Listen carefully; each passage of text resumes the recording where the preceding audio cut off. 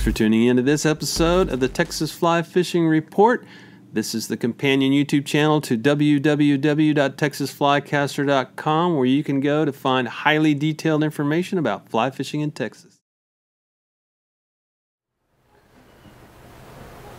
Hi guys and welcome to the Texas Fly Fishing Report for Friday, May 25th, 2018. There's a lot going on. I've been fishing two different lakes uh, on two different lakes the last two weeks. Last week it was, what lake was it? It seemed like a Lake Lavon. It seems like 100 years ago now. This week was Bridgeport. Last week was good. This week was bad. I just take one day. It's all I've got now during the week to actually get out and go hit these lakes that I've not been on hardly ever, if ever, before. Um, I did have the, the, good luck last week of catching a water body record on Lavon of a 14 and a half pound buffalo. As you know, buffalo are not carp, they're their own subspecies or whatever you want to call it. I'm not a scientist. You probably already realize that. Anyway, that was a good day. Found the fish. Um, then last week also I took out a recent Texas A&M graduate, Marty, uh, to warm him up on carp before he spent this week, which he's not back yet, but he's uh, actually in the Bahamas bone fishing. So we're going to find out in the future episodes how the two compare between bonefish and carp on Lake Ray Roberts, Texas, which is like a far stretch to say the least. But let's move on. Quit talking about me. Let's talk about what's going on through the rest of the state and what that is on salt where I always like to start and finish. There's a lot of action on the jetties right now with sheephead, sheep's head if you want to call them that. Both names count. Drums and reds. You're looking at the jetties right now and what you can do is tie your flies for that. You can't buy these. I've never seen them. A lot of, lot of natural colors, um, greens with gold, with gold flash. You got to use gold. Gold eyes, gold flash helps a lot to, to saltify a typical clouser. And you want those to get down and, and actually when you find sheep's head they're really in close to the rocks. So it, it becomes challenging in a lot of ways for fly fishers. Uh, one thing you've got to do is manage your line on the jetties and the way I do that is take a big old beach towel and just get it wet when I hit get to the spot I want to be in and lay that towel down it's wet so it won't blow away and let strip your line onto that. It's the simplest, easiest way. When you're done, wring out that towel. You might have to keep wetting it because it might dry out and blow away. So keep wetting the towel and that will cover your spot where you're stripping into. So that's the jetties. Texas Gulf Coast jetties is going on. Part two of that, what I'm seeing uh, in reports and things on the Texas Gulf Coast, on the inland side, uh, the inshore side, is that right now it's prime time for shallow, shallow redfish and speckled trout. And you can even find sheep's head out in the flats. Very difficult, very difficult quarry there. Um, and that only goes on for so long until it gets too hot and I think it's going to get hot a lot quicker. I mean it's super hot here already in North Texas. We skipped over the spring and we're now headed straight towards summer with high humidity and high temperatures, about 10 degrees above average. So it's tough right now. And it's tough for me on the flats because these, it's hard to, to go all day and then go the next day and go all day too. It's basically a day pulling the skiff on the flats and then a day, day of recuperation. If you get into freshwater, you know, you know that, and most of the population is close to fresh water in Texas, closer to fresh water than salt water.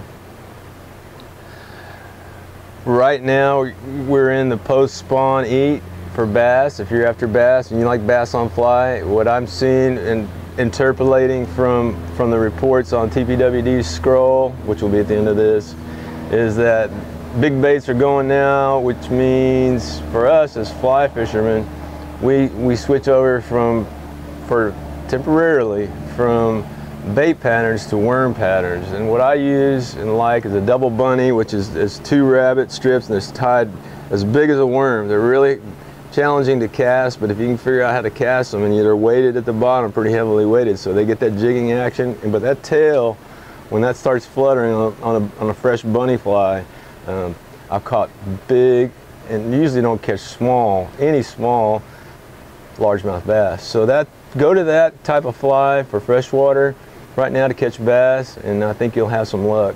Another thing you can do is it, as it really starts to heat up early and late top waters, there's a fly that I make, it's called the copperhead and it's basically a copy of a snake.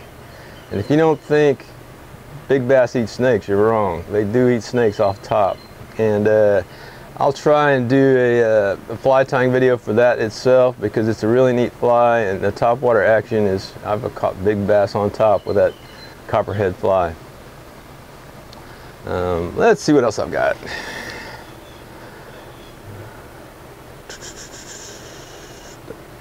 The reason you want to get out on the salt right now, if you can get out and wade the, flats, is because as it heats up, the, the, fish will come off the flats and they will go into the guts and that makes it just that much harder. So you'll have, the action won't be all day long anymore, regardless of tide, regardless of moon. Um, and that, and that variation or variable, what will happen is the heat gets so intense during the day that the fish will come off the flats and drop into the guts and that just makes it a lot harder fishing because uh, you're not sight casting for them anymore and they're not shallow there's fewer shallow fish because they're they're trying to cool off during the heat of the day. So it it throws one extra variable in there when the heat kicks in Texas style. And when it kicks in and it won't be long maybe a month maybe less because it's so hot now already. The one good grace we've had here in Texas lately is that the wind has finally quit. So only noise you hear is my fan going, trying to keep me from sweating to death. But otherwise, um, it's really been a, a really, really hot spring. It just kind of skipped the spring. That's pretty much what I have to say about fishing. I'm kind of in a hurry. Got a lot of things to do. I've got to go down. I'm an ambassador for TFO now, and I've got to go down and pick up a fly rod and hopefully we'll do a review of that. It's the Axiom 2. They've been out for a while, I know, but um, I haven't seen many reviews and I haven't really, I haven't had one, so I'm gonna get one and put it on a fish next week and see how it does. I've got a guided trip and a couple more trips next week. It's gonna be very busy because this is a holiday weekend. You know, the last word to you on getting out on Texas water this weekend is if you can avoid it, don't go.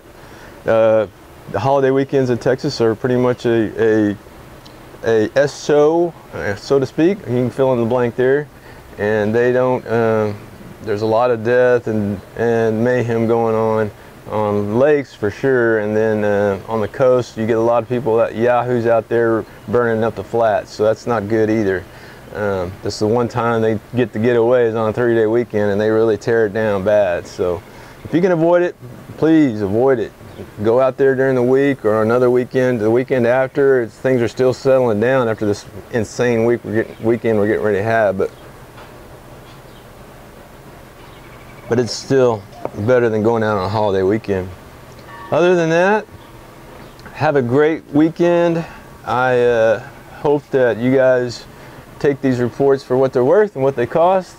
And in the uh, future, Go to www.texasflycaster.com to get all the information you need about fly fishing in Texas.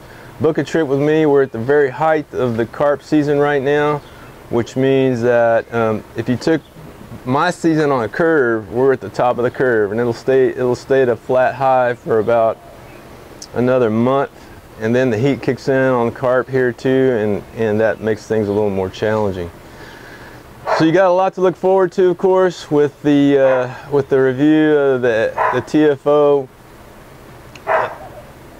That's that little doggy that used to be sitting up here. Um, Axiom 2, and we've got to tie a couple of flies to show you while they're still hot to be hot to trot for bass. And then, um, of course, if you tune in to the end of this, you'll see some photos that I, I have from my trip and then some photos that were sent in. I don't know if anybody's, yeah, I got a couple photos sent in this week by other um, fly fishermen, basically in Houston. There was a, and also what I'll do at the end is run the scroll of the of the two results for the two fly fishing tournaments. One was in Houston, the carp, the carp tournament, and then the one at, I'll run the results also for the uh, bass tournament, the World Championships on Lake Fork. I'll just scroll those in there too. That way you can see the results on that. I don't have to sit there and paste it into the story. Um, you know, the backup to these reports is the website www.texasflycaster.com. Subscribe to the YouTube channel and you will get a notification anytime a new video comes out. It's hard to tell when they're going to come out right now, whether it's going to be a week or two weeks in between because of all the fishing that's going on during the week. And I don't fly fish on the weekends in Texas if I can help it. Thanks for watching. Have a great holiday weekend. Stay inside if you can. Go outside if you have to. And if you do catch fish, please, please, on fly, please send those photos to me at 940-380-0408 or put it in another language 940-380-0408 and I will accept those texts photos from you and be glad to post them on my next video. Thanks for watching.